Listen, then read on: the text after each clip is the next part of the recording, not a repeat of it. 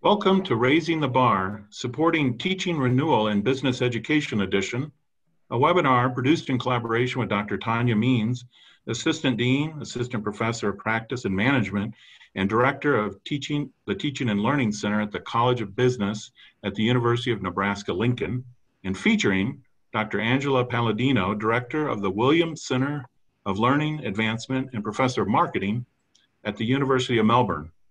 I'm Steve Dandaneau, the Executive Director of the Reinvention Collaborative, and on behalf of the RC's Research University members, I want to thank Dr. Means for helping to organize this session and for moderating it, and Dr. Paladino and her University of Melbourne colleagues for kindly sharing of their expertise and their experience. Tawnya, the floor is yours. Thanks so much, Steve. And I am really excited to bring um, Angela Paladino here into this conversation. I had a great conversation with Steve and his group a while back, and it was such a good experience. I wanted to share it with some of my colleagues. So Angela is a very good friend of mine, and um, we've enjoyed working together over the years. And I will quickly read to you a little bit of her bio, and then I'll turn it over to her to introduce her colleagues. So Angela Paladino is the director of the Williams Center of Learning Advancement and a professor of marketing at the University of Melbourne. She has taught undergraduate and postgraduate marketing for over 20 years in class sizes ranging from 85 to over 600 students. She's published her work in journals, including the Journal of Product Innovation Management, Personality, and Social Psychology Review, Journal of Marketing Education, Environmental Education Research, and the Journal of Business Ethics. Angela has been awarded over 12 international and national teaching awards from organizations, including the Academy of Marketing Science and the Australian government. She's been awarded almost 40 million uh, dollars in competitive funding from national and international agencies, including the Australian Research Council. Angela is the former associate editor of the Journal of Product Innovation Management, and she's on the editorial review board of JPIM and the Journal of Marketing Education and Journal of Advancement in Marketing Education. Angela has a keen interest in research and business education with a focus on understanding how to engage students in teaching, the effects of feedback on student learning outcomes, and the effects of faculty peer review on teaching quality. Angela and I have worked pretty closely in um, a number of different activities and I've really enjoyed participating with her and look forward to this conversation. Angela, I'll turn it over to you and we'll listen to your presentation and then hopefully have some time for Q&A towards the end. Great, thank you very much, Tawnya, and thank you, Steve, Tawnya, and, and Liz and Jenna for um, the invitation and the support to, to getting to today. Um, I will also be joined by my colleagues, um, Carsten, David, and Maggie, who will give you a brief overview of their bio before each of their presentations later on. And in keen Twitter style, I should say that they're all of our uh, Twitter identities. So if you'd like to note those down and tweet them, um, you're more than welcome to join in a Twitter conversation if you can multitask. So I'll move on. Uh, so today what I'm going to do is really talk you through our COVID uh, journey which I was hoping when Steve originally um, emailed me about this would be uh, the break from COVID, but we're in wave number two. So uh, I'll also talk you through some of our preparations and how they changed as a result.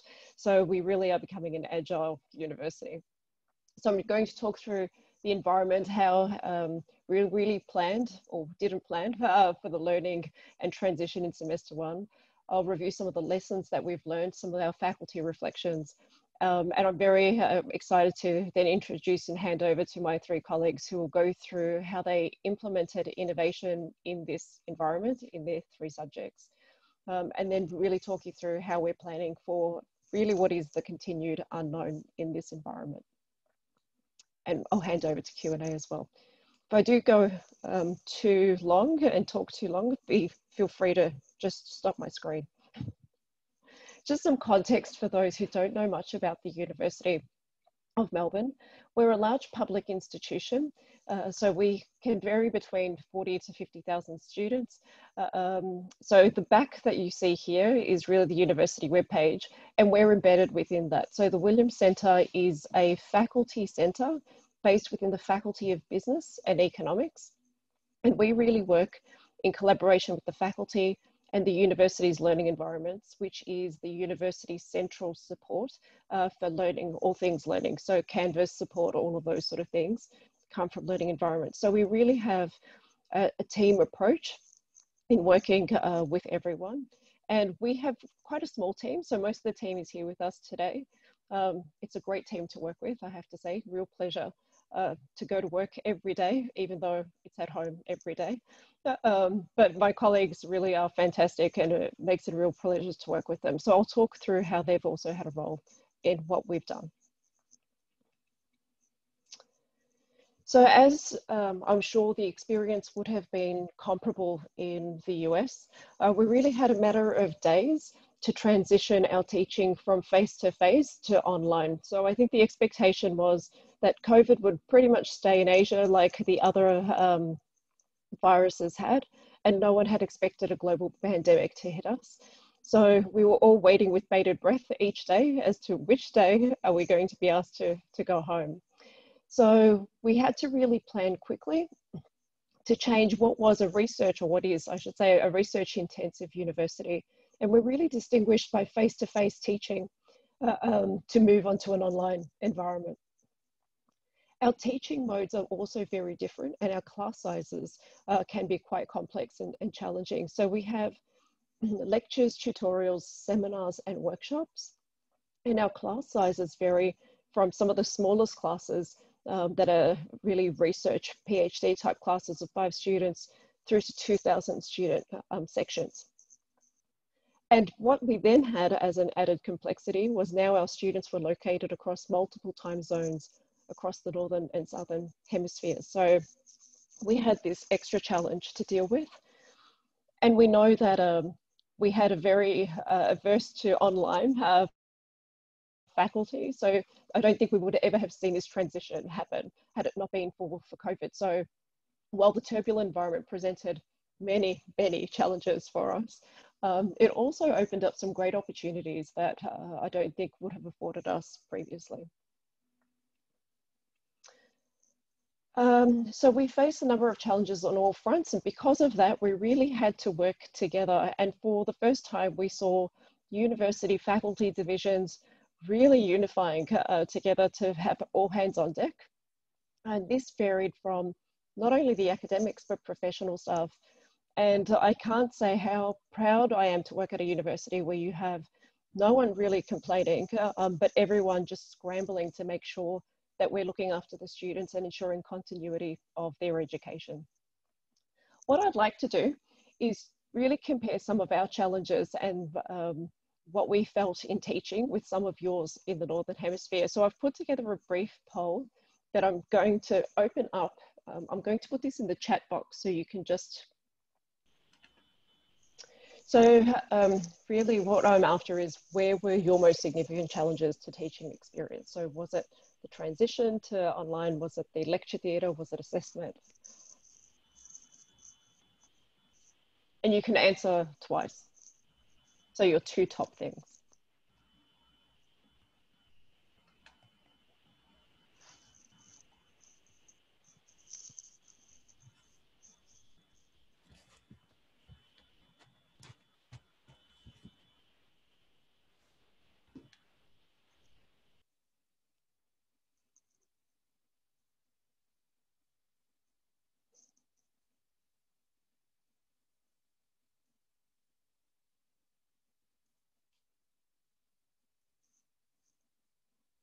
That's great. So some of the things that are emerging very similar across hemispheres.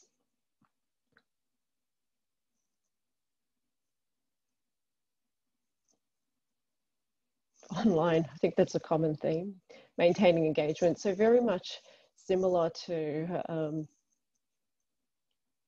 what we've seen here. And you'll notice that um, and the shared family environment is still an ongoing issue here, how to interact um, becomes one of our largest themes that I'll talk about soon in maintaining engagement um, and teaching online, upskilling, another quick theme. So thank you. Uh, that's been great. I think I'll stop there. Um, but they're exactly the sort of themes that we're seeing um, really transfer from the northern and, and southern hemispheres. So the tertiary sector really has become a global sector. And what we're seeing is that the challenges we're all facing are the same regardless of institutions in terms of some of the main themes, um, unless you were, of course, an online university um, and didn't have to think about um, some of those issues. Okay, so hopefully, thank you for that. Hopefully you can see my slides again. Um, so learning from our transition, what we tried to do uh, and what we tried to do a little differently was to ensure that we were committed to learning from our transition. Um, and what we wanted to do is collect information and data so we could have a data driven approach to learning for semester two as we knew this was going to be an ongoing issue. Um, so we collected three groups of data across semester one to really inform the faculty of A, what were our academics doing to transition online? And B, how would we gauge uh, feedback on, or we wanted to gauge feedback on students and staff on the learning experience. So this was something unique for the university and we wanted to make sure that we were assisting and supporting our staff as much as we could to assist that transition. So we sent a survey to, uh, to our staff in March and that was really helping to track um, what people were doing to, to do that rapid change. We then were given a mid-semester survey from Chancery and that was uh, issued to students to track their experiences online. And then we had a third call for data that the heads took charge of to track activities and challenges and how those uh, changes took place. And the data provided us with a fairly robust picture of where to focus our improvements um, and our extra support that we wanted to provide to staff as we transitioned um, and planned or tried to plan for semester two. So uh, what we did find were some really uh, large themes that came out, which was not uncommon with some of the universities as we were really just jumping to the online environment, was that academics had been predominantly involved in asynchronous modes of teaching.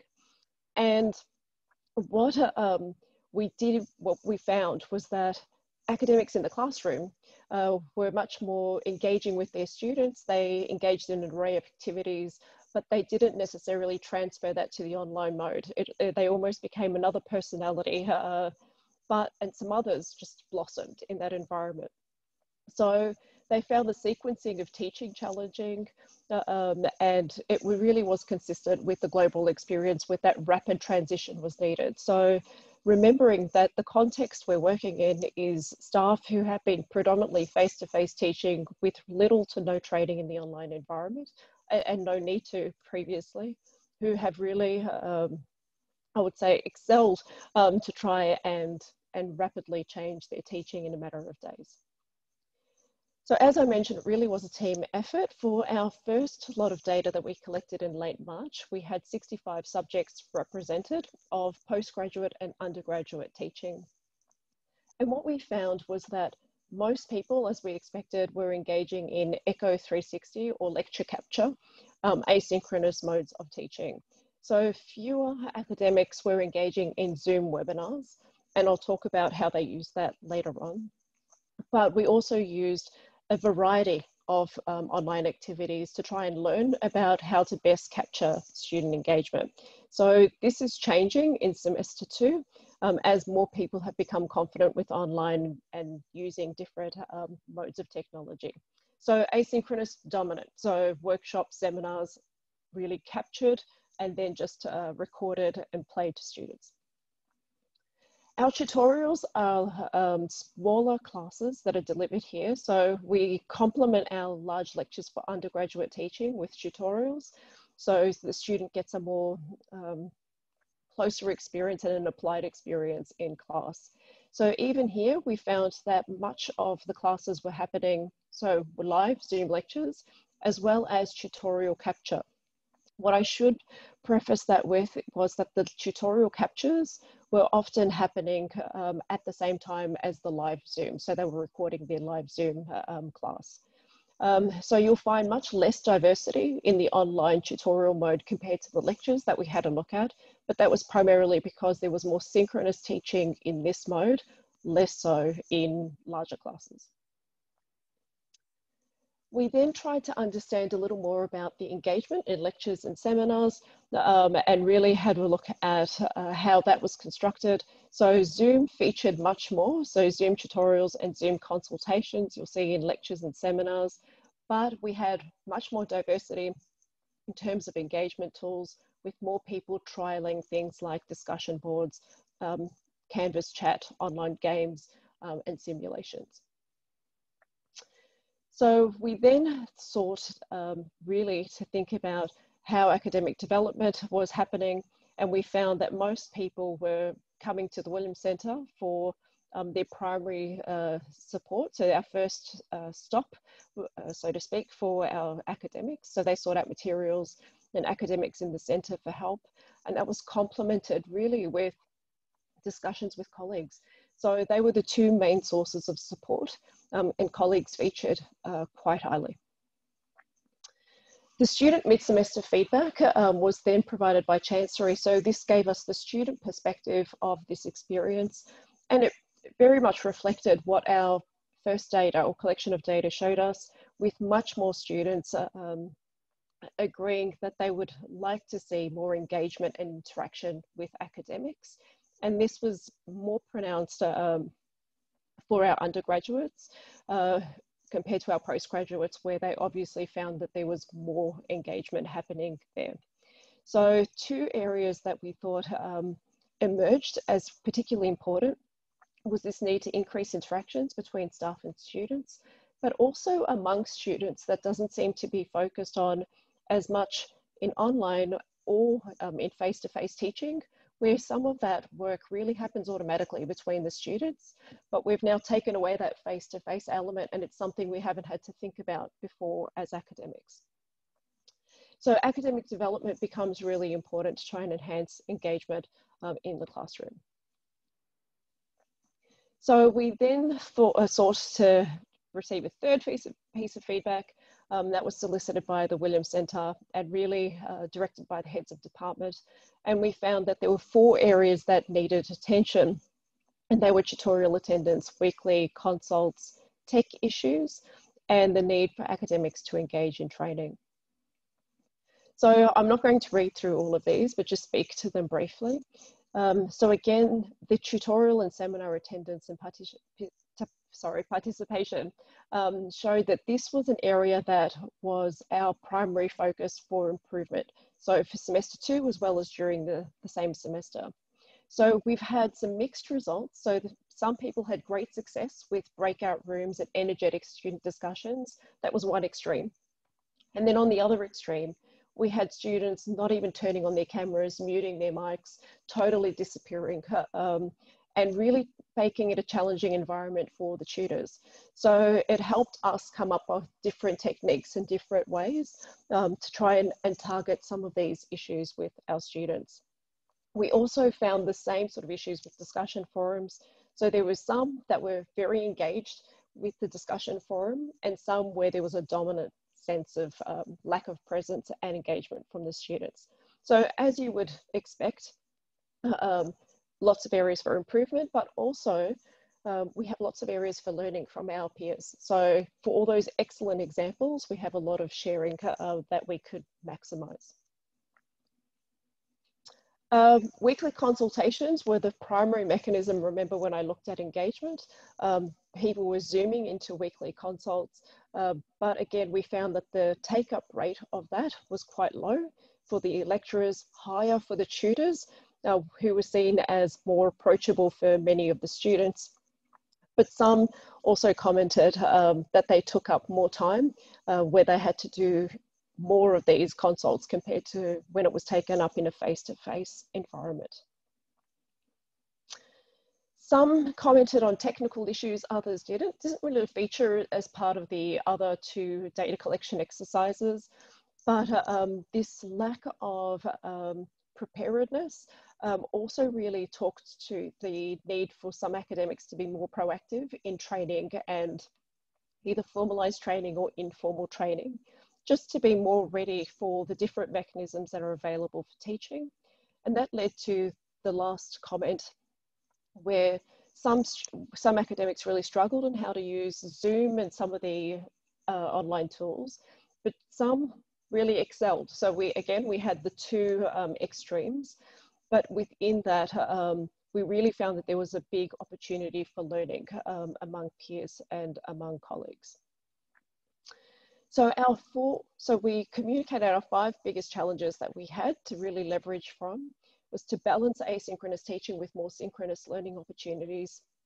Our, and this is in order of importance for us, um, to improve our student lecturer and student to student engagement with the latter not being looked at uh, in face-to-face -face teaching. So a lot of learning involved, really to enhance the structure of LMS sites um, improve academic engagement and really to improve insight sharing. So I'll talk about those later. So we learned um, in this process about some really innovative examples that were applied within disciplines and they were really valuable for us. Uh, Miriam, who's here with us today, um, who's our educational designer, really initiated and started off a good teaching series that's led to an online teaching series where we've helped to share some of these exemplars um, what's better than giving you an online um, exemplar website is to bring my colleagues in. So I'm very um, pleased to be able to bring in three of our colleagues, uh, first of which is Carsten. Okay, so Carsten Murawski is a decision scientist and professor in the Department of Finance, as well as co-director of the Brain, Mind and Markets Lab at the university. He's passionate about developing financial capabilities of people. He's one of the initiators of Street Finance, a really exciting program aimed at improving financial behaviour and outcomes of young Victorians. And as part of the program, university students deliver lessons on basic financial knowledge in high schools around Melbourne. So prior to joining the University of Melbourne, Carsten was a postdoc fellow at the University of Zurich. He's been a visiting researcher at NYU and Columbia University in New York. He spent several years in the finance industry and he holds a, PhD from the University of Zurich in Switzerland and a master's degree from the University of Bayreuth in Germany. So it gives me great pleasure to hand over to Carsten. Uh, thanks, Carsten, for your time this morning. Um, and I'm going to, would you like me to stop sharing and do you want to share your screen or do you want me to continue and flick over? Okay, done.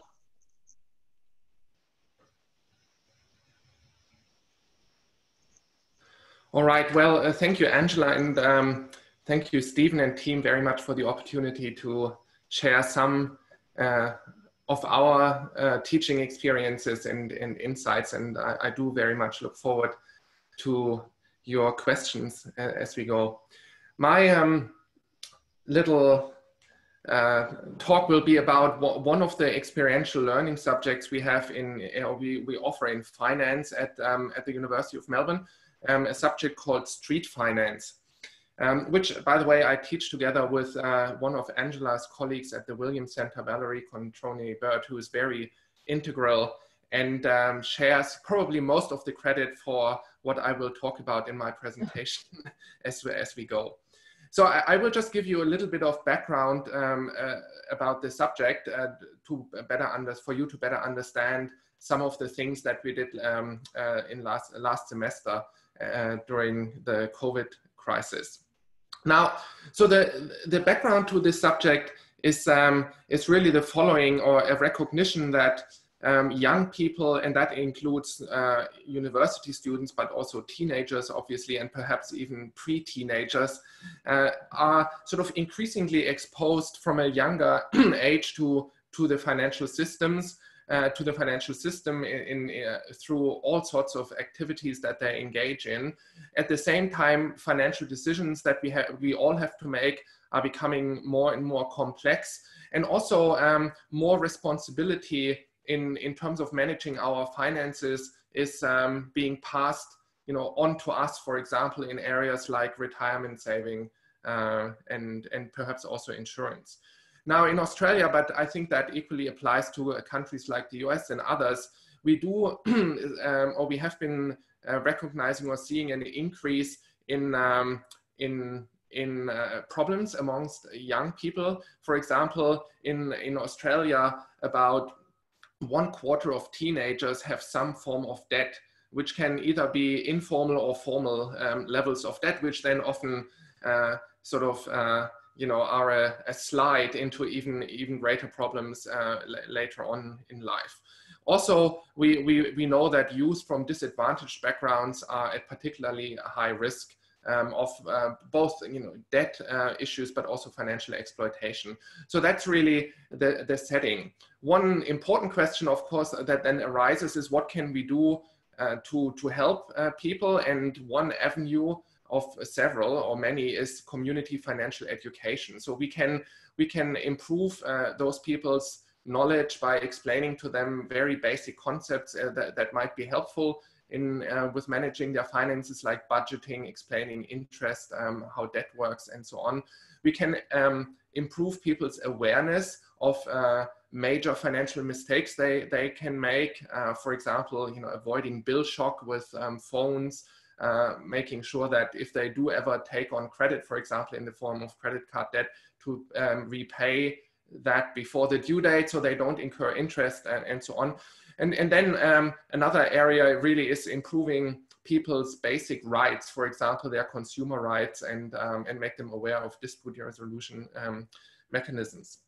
And that's really sort of the, the, um, our lift off. So we, um, we, we we built a subject um, called street finance around that that really um, tries to improve um, th these areas in year 10 high school students, so students who are about 15 years old.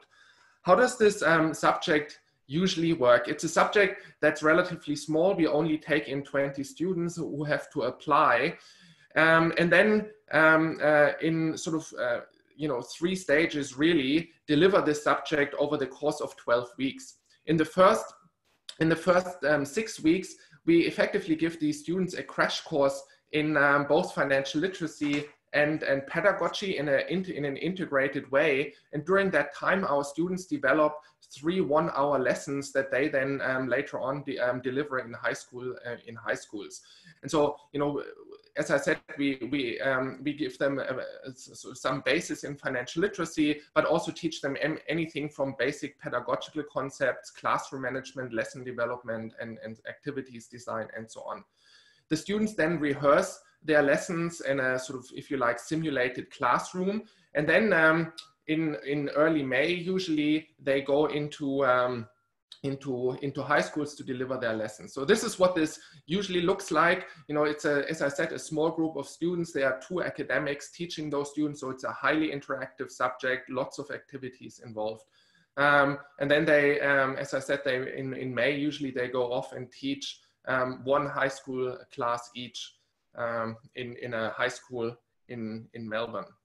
Now this um, this year the coronavirus ran a bit of a train through our plans, as you can imagine. Not only did we have, after two sort of in-person sessions, um, move everything online, um, we also then encountered problems uh, down the road. So which, what did we do? Well, you know, literally within a, um, a, few days, we had to move the entire subject online. We did that um, using Zoom.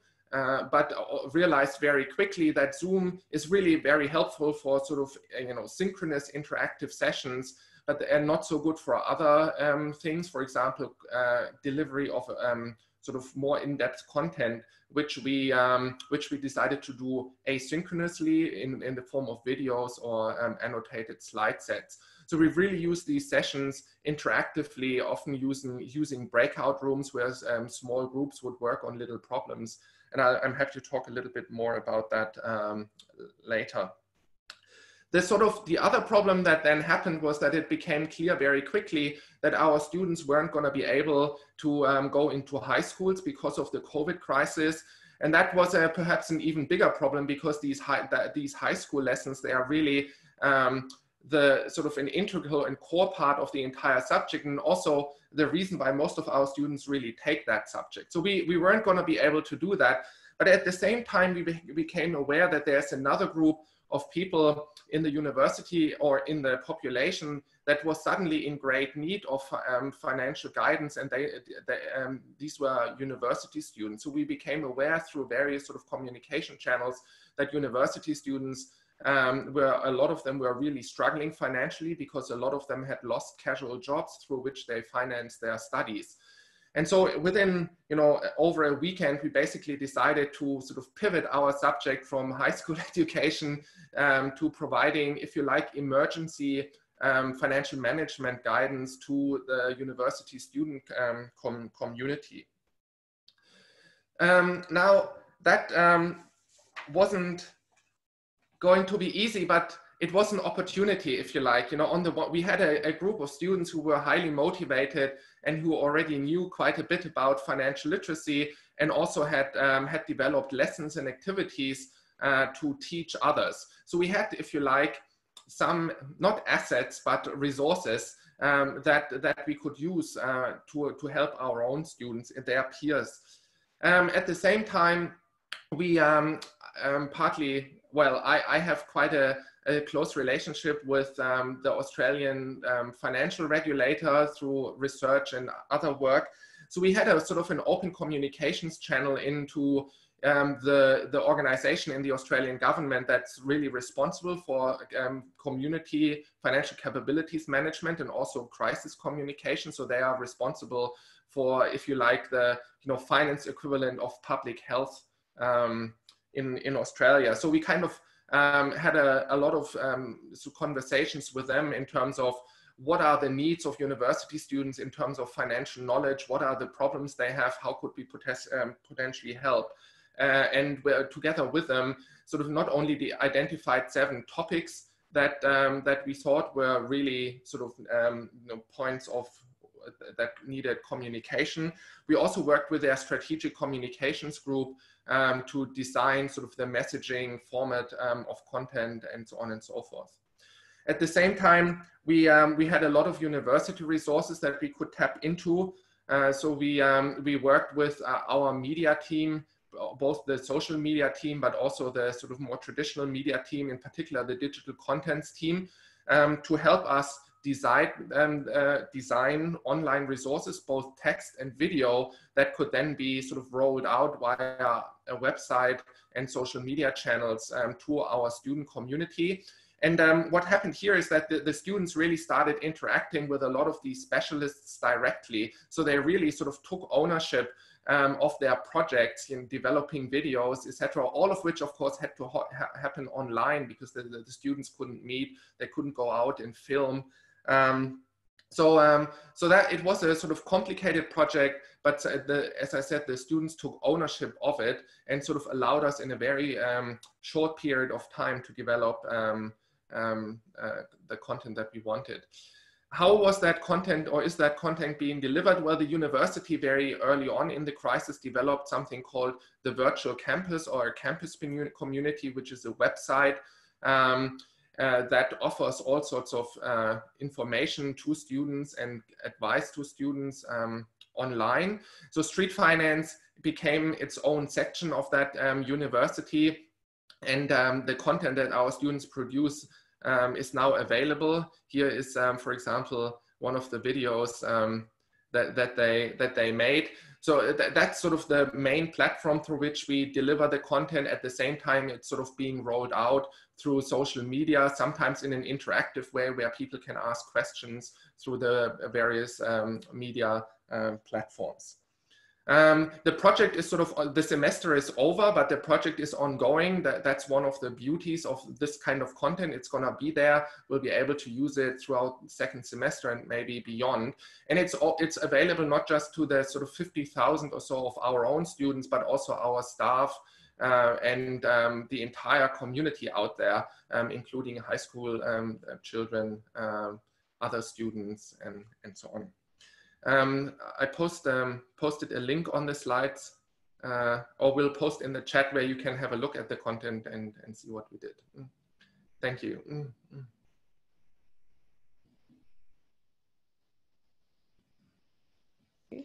Thanks, Carsten. That was great. Uh, um, I'm going to hand over to David.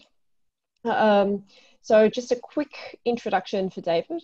Uh, David Byrne is an associate professor in the Department of Economics at the university here. He does empirical research in industrial organisation with a focus on energy markets.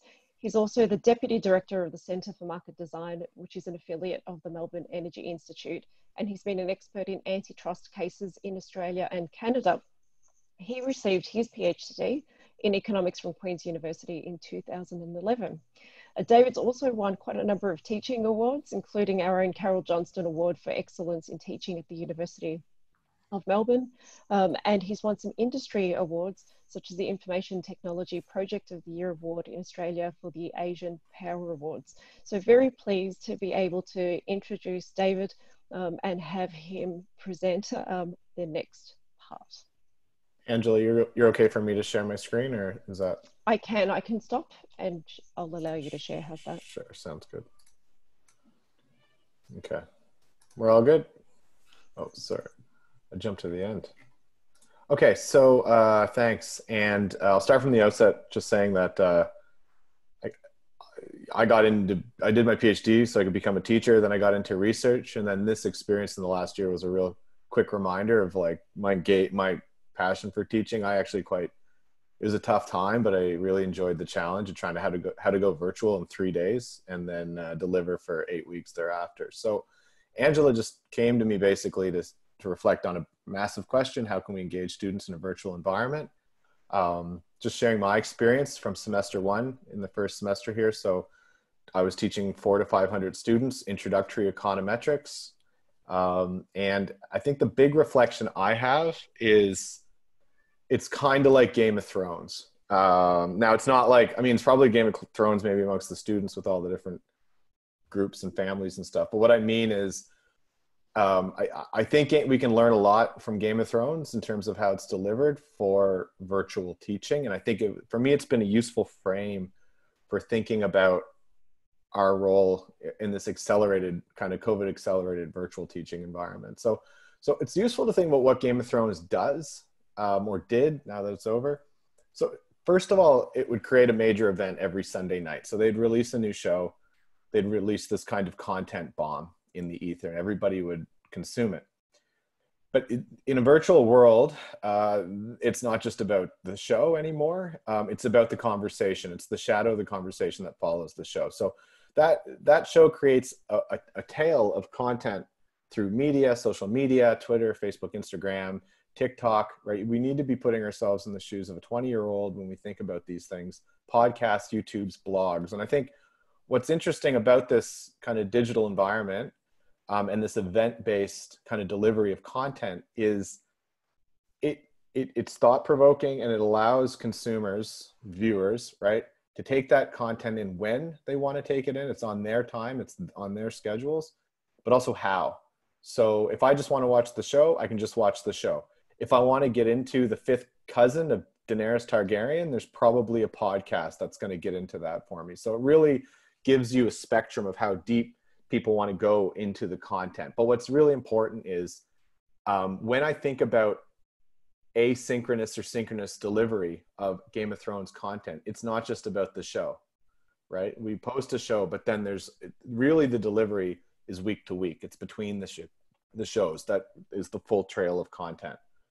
So I I think we're basically like Game of Thrones. I think I think increasingly educators and our subjects have to be thought of as engines for providing thought-provoking digital content. There's events, those are things like lectures, and then there's a tail of content that's going to try to allow students to really engage with the material. And and so, you know, like Game of Thrones, the design and delivery, this is what I kind of was reflecting on when I was kind of transitioning my subject. It's about the when and the how um, with how our students engage with it. So what I basically tried to do was Game of Thronesify introductory econometrics, which just sounds dry as as anything. Um, but I gave it a crack, and so here's how I did it. Um, I just tried to treat my subject like Netflix. So, um, but but not but without allowing them to binge watch, right? So a key thing with Game of Thrones is it keeps a 12 week or 10 week conversation going because it releases a subject or a, a subject, a, TV show every Sunday and creates that trail of content. So I tried to do the sort of the same thing. So uh, this is kind of nitty gritty, but it, it, was trying to get at the same kind of uh, flow for content delivery and absorption with the subject. So I was working with really specific times, just like just like they would at 6 p.m. I was working towards releasing my content for the week on Sunday evenings. Um, that was partly informed by a lot of the research I do um, with energy companies. With recruitment, Sunday evenings is an amazing time to get people's attentions uh, for recruiting into field experiments and stuff. So I work with that. So um, so 6 p.m. all my content would go up. I'd be posting the upcoming week's lecture videos, tutorials, assignments, and you may say that's asynchronous and it's true i'm not immediately talking to the students when i post but you're communicating with them through the week it's synchronous at a weekly time scale right um, so you know i post that then there's a video blog of me coming up. The students called it a blog i got a lot of strong feedback on this talking about the upcoming week. It'd be like a three or four minute video. And then i would just talk about random things in my life how i was dealing with covid uh, my kids were on one of the videos took a couple videos in the middle of a run um, talked about binge watching Ozark. Like I just talked about me and, and how I was dealing with it because I think, especially in this context, but also just try to humanize the subject, but especially in context with the crisis, it's sort of like things kind of are ticking along. So that was really kind of a positive for a lot of students. They, they would look forward to my video blog and whatever random thing I would talk about that week. From that point, every day of the week, we worked with the tutors to have always, we had a discussion board and you can really create you know these environments where we always had our discussion board cleared by the end of every day every question answered every day so it's just ensuring that in that content delivery that that one week shadow of content there's constant turnaround on questions and feedback and that builds momentum. The more you answer the more questions come. And then you kind of get into this virtuous cycle which really works. Wednesday i would drop another content bomb around 12 noon. And and, and so there was just being thought provoking with real world applications. And and this is where you can't just post everything and leave it. Like you're really i'm working with content from that day or that week from other sources of places twitter podcasts youtube's wherever i can find interesting applications in this case of uses of data and econometrics to engage students with the um, with the uh, with the material um, the, the the white house has all kinds of interesting uses of data that was great for getting people thinking about well what is what does that number really mean so you would drop that on Wednesday, and some of the super keen students would come back to me. This is kind of about the how.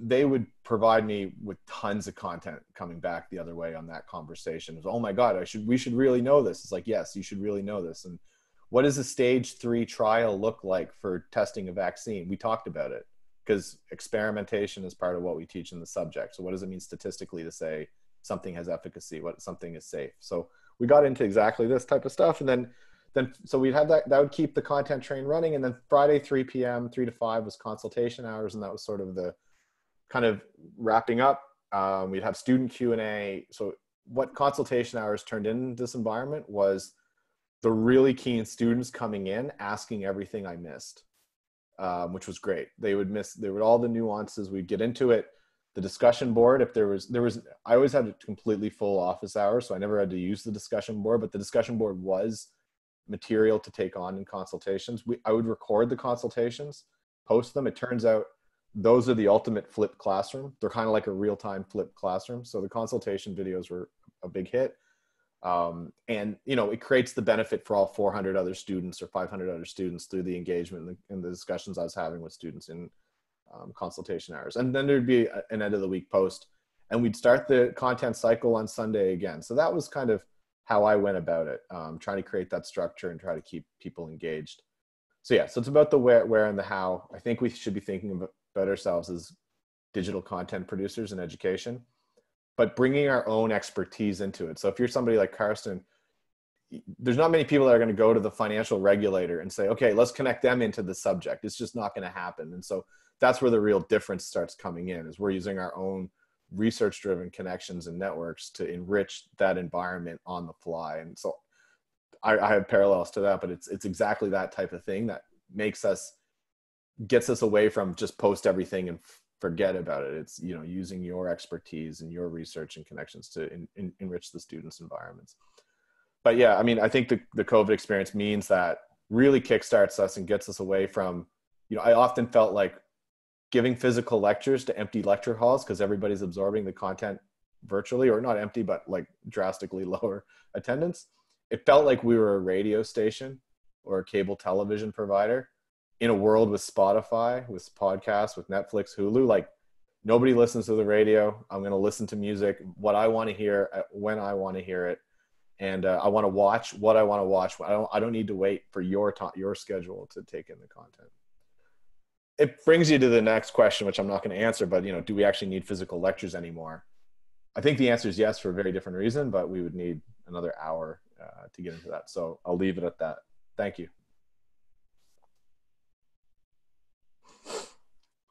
Thanks, David. Uh, a very different perspective, and now we're going to have yet another very different perspective coming from Maggie, um, who is a teaching specialist in accounting. Um, so Maggie joined the Department of Accounting as a teaching specialist in 2018, and she's taught introductory accounting and accounting information systems and business processes um, subjects. So some very large subjects for the faculty. She's also assisted with the rollout and continuous development and teaching of the undergraduate AIS introductory audit subject. She's keen on experimenting with approaches that can increase student engagement within the classroom and has an interest in incorporating tech in teaching. Maggie also has a focus on enhancing employability skills through embedding industry software in her teaching, such as SAP, um, and um, soft skills development through assessment through summative and formative forms of assessment. Maggie is a regular um, in our uh, sessions with the Williams Centre. She engages with us quite a lot. Uh, it's a pleasure to work with her and a pleasure to introduce her to you today. Um, I'm going to hand over to Maggie. Um, over to you, Maggie. All right, thank you so much, Angela. Hi, everyone. Um, just um, wanted to share what we've done in an accounting subject. Um, in response to this moving to a fully online teaching environment. So a little bit of a background in the subject, um, like Angela mentioned, it's an intro audit and um, accounting information system subject. Um, with our subject, this whole idea of having a conversation um, discussion is very, very important. And that's how students are actually learning from the subject. So this whole discussion, because everything is very context based, so having that conversation becomes very, very important.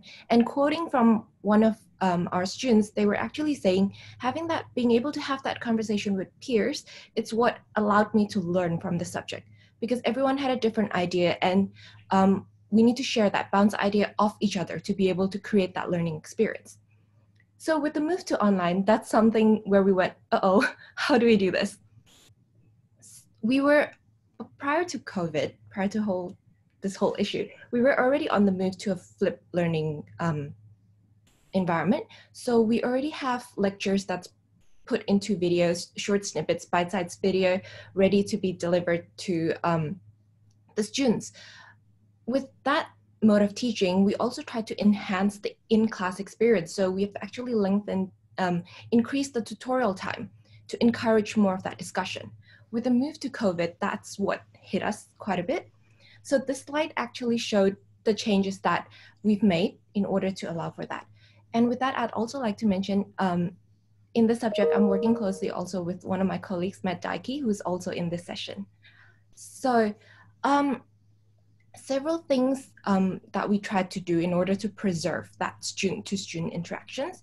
So the very first thing is um, this webinar style. So this webinar style teaching is acts as a support. So there are, um, with the webinar style teaching, it's us delivering to a large class of students, so greater than 75. With a cohort of 300, we often get 100 plus to 200 attendance in a single webinar. With this particular webinar, we've designed it so that we could still show students how to apply their knowledge to a particular case, to a particular problem, but we've um, this is more of the technical aspect where they don't necessarily need to talk to each other as much. Um, with the webinar style of teaching, we found that students would then have the ability to ask questions, confirm points that they're unsure of straight away. So um, the main presenter during the webinar would go through a particular point, and if students are unsure, they could immediately raise their questions through the Q&A or the chat function. As such, they could without having to wait, say, until the very end of the webinar to ask their questions, they could clarify points that they're unsure of straight away. this enables us to make large classes interactive as well. However, I wouldn't say downside, but downside for a lack of better words is that we need at least two staff in the room. So this semester we were still doing this because we were still teaching online. Um, our last webinar, we had an attendance of about three, 200 to 300 students. And what ends up happening was we were getting two questions every minute. Within an hour, we hit 120 questions on the Q&A. So we were struggling to answer, answer it on time as well. So we do at least need two staff to monitor this. Now, coming to that student to student engagement, another thing that we um, have done is we've um, encouraged students or made students create this online study group. So we've preserved the tutorial format that Angela previously mentioned, so a smaller classroom, and moved that onto Zoom. So we had a classroom about 20 to 25 students, and within this classroom, we've got students to form study groups of four to five each group. Now, before coming to the tutorial, they have to work in group and come up with a group answer for all the tasks that they need to do.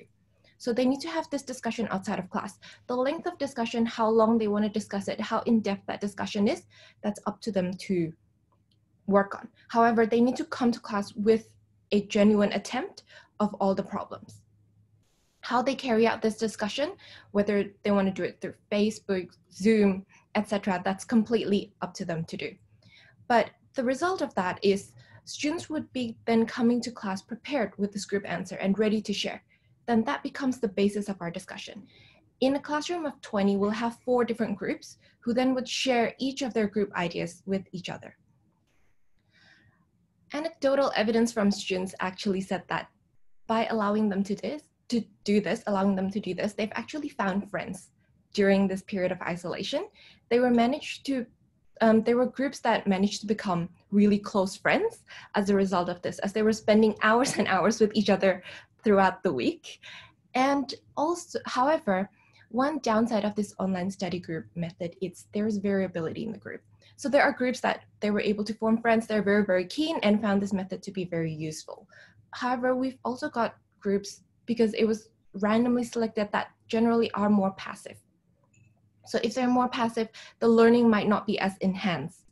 And for us as teaching staff, monitoring that engagement because it's outside of the classroom, only until they come in, then we'll know how engaged they are. But monitoring something that happens outside of classroom can be very difficult for us. And we've also found that a lot of the in-class guidance that we provide to guide discussions now needs to be formalized and put ahead of time. So we need to think ahead as to, oh, how do we guide this discussion so that students are able to do this on their own before coming to class. Another thing that we've done is we've also um, created this discussion board. So um, we've encouraged a discussion online. So the discussion board that we use is called Piazza. So rather than having discussion, we post a particular question students have to discuss. What we've actually opened this up to is to enable peer-to-peer -peer support. Us as teaching staff, we monitor these discussions. So if one discussion is going down the wrong lane, then we'll try to pull them back. But otherwise, um, students were able to support each other, um, both on questions, um, technical supports, or just general content in the subject.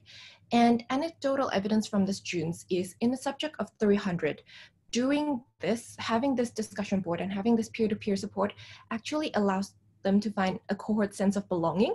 They feel like they're in it together with the subject. And we found that to be pretty successful. That's it for me. Thank you.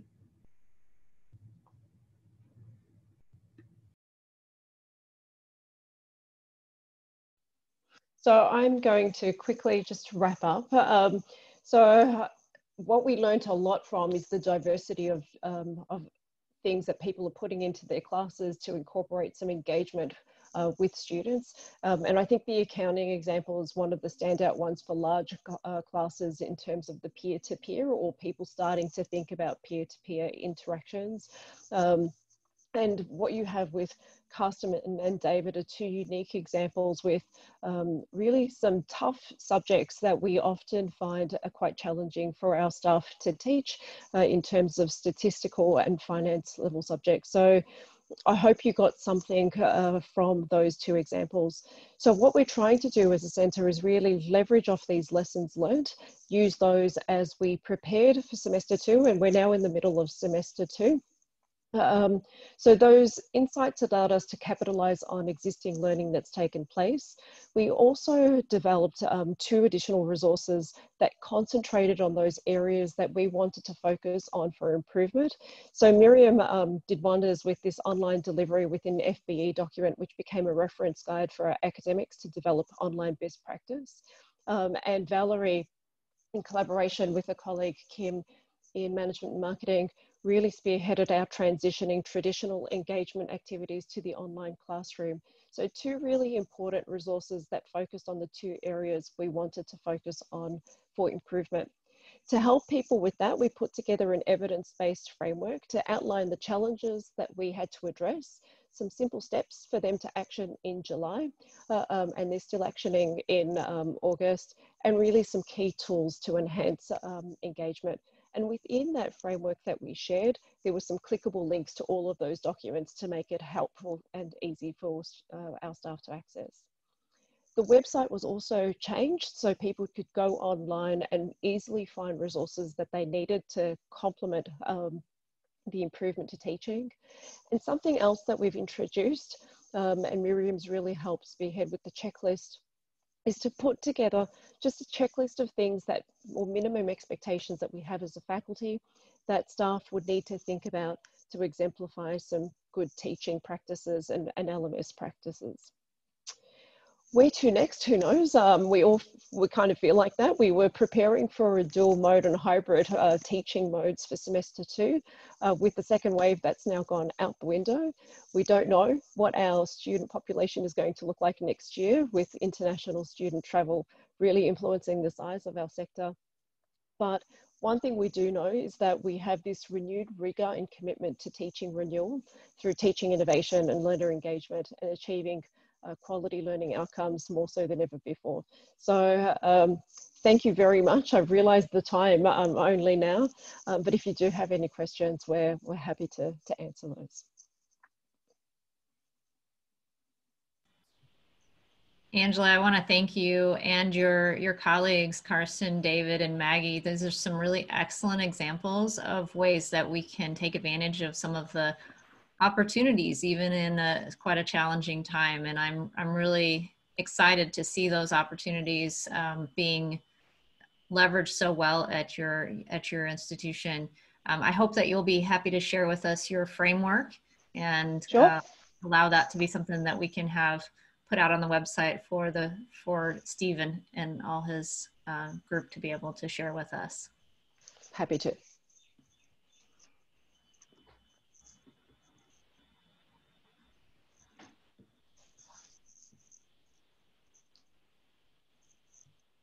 So what I'll do is I'll share some of these resources um, through email or I'll, I'll, actually put in a Dropbox file and I'm happy to share those with both of you after the session.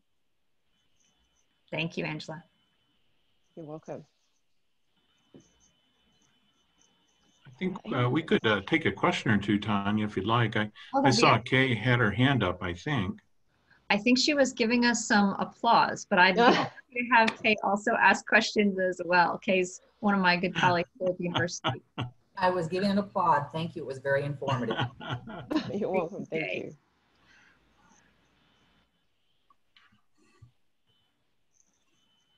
Well, I'd, I'd like to add my thanks to everyone as well, uh, to Angela and all her esteemed colleagues at the University of Melbourne. This was fantastic, really thought provoking. And um, I'm impressed with how uh, you've documented so carefully your experience and use that learning to, in, in the process of um, nurturing and guiding the faculty as they learn to adapt through this process and, and cope with some really you know challenging circumstances but in an obviously very creative and effective manner. It's an inspiration to all uh, faculty in any discipline anywhere in the world uh, to see that. And so we're hopeful that lots of folks will um, listen to this these presentations and um, consider it a model for themselves where they adapt to their situation uh, going forward. um, as I was saying, we, we do have a little time for questions, but there may not be any.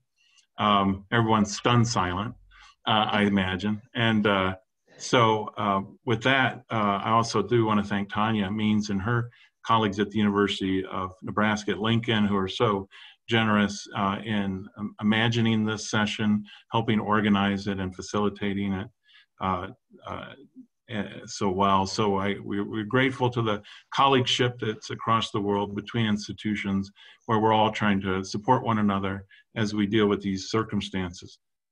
Thank you all. Thank you very much.